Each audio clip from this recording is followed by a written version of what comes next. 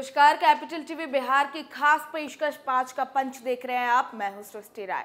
आज हम बात करेंगे बिहार की पाँच बड़ी खबरों की। इसमें बात होगी सियासत के बदलते समीकरणों की, सरकार के काम करने के तरीकों की, प्रशासन की कामयाबी और नाकामियों की, और साथ में चर्चा करेंगे नीतीश कुमार की सरकार पर उठ रहे सवालों की। तो अब रुख करते हैं खबरों की तरफ़। पहली खबर में बात विपक्षी एकता की। विपक्षी एकता पर छलका नीतीश का दर्द, कांग्रेस के जवाब का कर रहे हैं वेट। अटल जी को याद कर पीएम मोदी पर साधा निशाना। दूसरी खबर में बात बिहार वासियों के सालों पुराने सपनों की। 27 साल बाद रामनवमी पर बिहार वासियों को मिली खुशी। आज़ाद हुए भगवान, लोगों ने कहा ऐतिहासिक है आज का दिन। तीसरी खबर में बात, प्रशासन की कामयाबी की, हर रात शमशान में जलती चिता का सच, अर्थी सजाकर पहुँचते लोग, फिर लगाते आग, मुजफ्फरपुर पुलिस पहुँची तो कुछ और ही मिला। चौथी हैरत अंगेज खबर, बिहार से जहाँ प्रेमिका से निकाह करने पहुँचा पति, घर छोड़े दो बच्चे, मातम में परिवार। पांचवी खबर में बात, सियासत के बदलते समीकरणों की। आखिरकार राहुल गांधी के मामले पर सीएम नीतीश ने तोड़ी चुप्पे, सीएम के बयान से मचा बवाल। राजधानी पटना में पत्रकारों से बातचीत करते हुए मुख्यमंत्री नीतीश कुमार का विपक्षी एकता पर दर्द छलका है। उन्होंने कहा कि 2024 के लोकसभा चुनाव के लिए सभी बच्चे दोनों को एकजुट करना हमारा लक्ष्य है। जितना ज़्यादा लोग होंगे, उतना ज़्यादा हमारा गठबंधन मज़बूत होगा। एकजुट रहेंगे तो 2024 लोकसभा चुनाव ठीक से लड़ पाएँगे। लेकिन अभी तक कांग्रेस पार्टी के फैसले का इंतज़ार कर रहे हैं। नीतीश कुमार ने कहा कि हम लोग दिल्ली गए और दो राउंड से सभी लोगों से बातचीत किया। अब चुपचाप वेट कर रहे हैं। नीतीश कुमार ने यहाँ तक कहा कि अब आप तय कर लीजिए कि हम लोगों के साथ मिलकर चलना है कि नहीं। हम लोग वेट कर रहे हैं। क्षेत्रीय पार्टियों की राय बन गई है। पूर्णिया में सभी दलों की सभा हुई थी। उसमें भी हमने ये बात कह दी थी। इतना ही नहीं, पत्रकारों से बात करते हुए नीतीश कुमार ने प्रधानमंत्री नरेंद्र मोदी और भारतीय जनता पार्टी पर जमकर निशाना साधा। नीतीश कुमार ने अटल बिहारी वाजपेयी को याद करते हुए कहा कि श्रद्धेय अटल जी कितने महान थे। कभी हिंदू, मुस्लिम का झगड़ा नहीं करते थे। सबको एक तरीके से मानते थे, लेकिन देखिए आज क्या हो रहा है। आप सब लोग देख रहे हैं कि अटल जी को मुझ पर कितना भरोसा था कि उन्होंने तीन तीन विभाग का मंत्री बनाया। उस समय कितना काम हुआ, लेकिन किसी काम को याद नहीं किया जाता है। आज के लोग सिर्फ़ अपनी तारीफ़ करते रहते हैं। पुराने काम को कभी याद नहीं करते।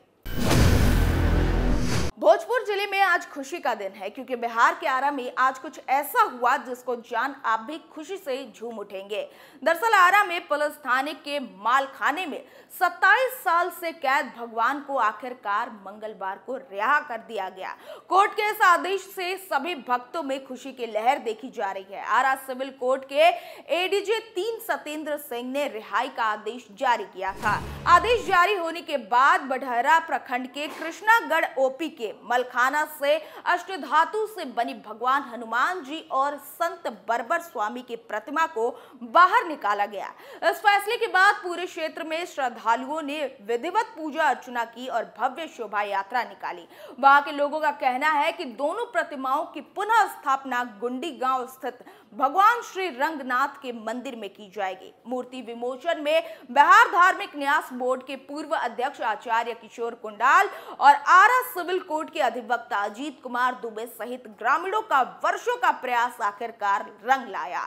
आपको बता दें कि बिहार वासियों को ये खुशी करीब उनतीस साल का लंबे इंतज़ार के बाद मिली है। दरअसल उनतीस साल पहले 29 मई को उन्नीस सौ चौरानवे को बड़हरा प्रखंड अंतर्गत गुड़ी गाँव स्थित श्री रंगनाथ भगवान मंदिर में स्थापित अष्ट धातु के बनी भगवान हनुमान और संत बरबर स्वामी की मूर्ति को अज्ञात चोरों ने चुरा लिया था। तत्कालीन मंदिर के पुजारी जनेश्वर द्विवेदी ने मूर्ति चोरी का आरोप लगाते हुए कृष्णागढ़ ओपी थाने में अज्ञात चोरों के खिलाफ प्राथमिकी दर्ज कराई थी। बता दें कि पुलिस ने 25 मई उन्नीस सौ छियानवे को नगर थाना क्षेत्र के बलूहीपुर गौसगंज बधार के चोचबाग स्थित कुएँ से दोनों मूर्तियों को बरामद कर थाने ले आई थी।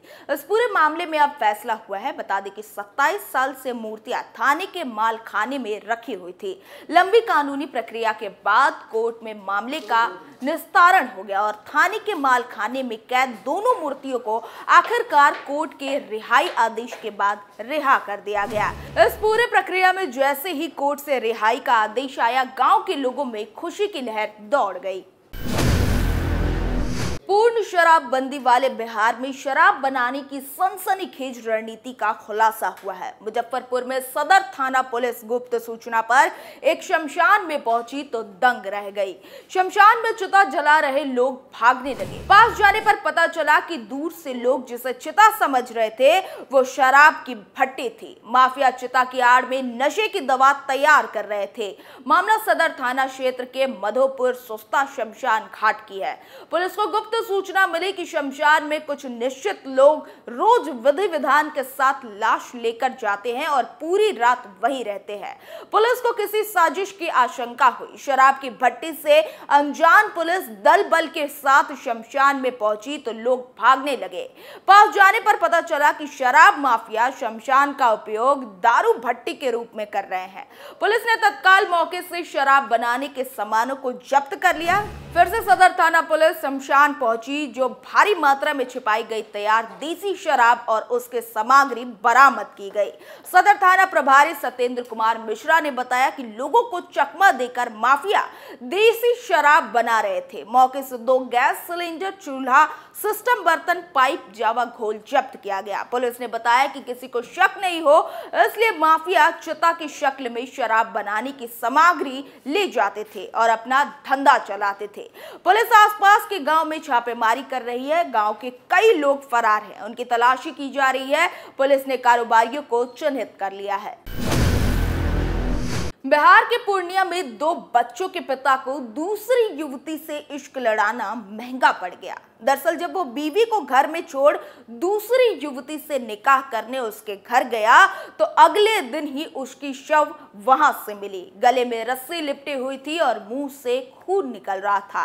घटना अमौर थाना क्षेत्र अंतर्गत रंगरैया गाँव की है। लड़की के घर से युवक साहबुल आलम की शव मिली। शव मिलते ही उसके परिजनों के होश उड़ गए। हालाँकि मामला हत्या का लग रहा है, लेकिन उसकी हत्या किसने और क्यों की इस पर जाँच चल रही है। वही मृतक के परिजनों ने कुछ लोगों के खिलाफ हत्या का मामला दर्ज करवाया है। इस घटना के बाद से पूरे इलाके में सनसनी फैल गई है। मृतक के भतीजे मोहम्मद शौकत ने बताया कि उसके चाचा की शादी तीन साल पहले हुई थी। घर में बीवी और बच्चे रहते हैं, लेकिन चाचा आशिक मिजाज थे। पहली पत्नी से मन नहीं भरा तो उन्होंने पास के गाँव की दूसरी युवती से अफेयर शुरू कर दिया। मृतक के भतीजे ने बताया कि जैसे ही हमें चाचा की मौत की सूचना मिली हम फ़ौरन युवती के घर पहुँचे। हमने पुलिस को इसकी जानकारी दी। बायसी के एसडीपीओ आदित्य कुमार ने बताया कि फ़िलहाल हत्या का मामला दर्ज करके जाँच शुरू कर दिया गया है। जिन लोगों के खिलाफ मृतक के परिजनों ने मामला दर्ज करवाया है, वो सभी अभी फरार है। उनकी तलाश जारी है। जल्द इस मामले को सुलझा लिया जाएगा। बिहार के मुख्यमंत्री नीतीश कुमार ने कांग्रेस नेता राहुल गांधी की सांसदी जाने के मामले पर चुप्पी साधे रखी। इसे लेकर राजनीतिक हलकों में खूब कयास लगाए गए। सीएम नीतीश ने खुद इस बात से पर्दा हटा दिया है कि वो राहुल गांधी को मानहानि केस में सजा होने और उनकी लोकसभा सदस्यता रद्द किए जाने के मामले पर चुप क्यों हैं?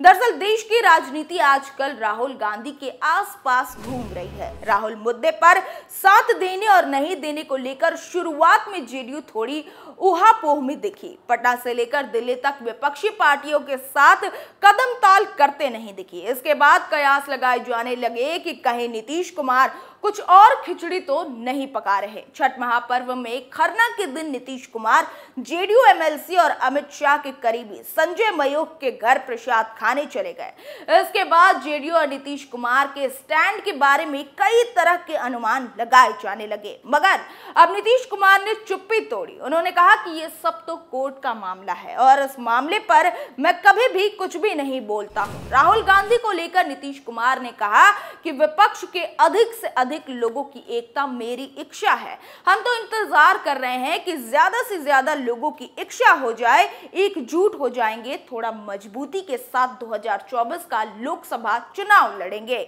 आपको बता दें कि राहुल गांधी को मोदी सरनेम केस में गुजरात के सूरत की अदालत ने पिछले दिनों दो साल की सजा सुनाई।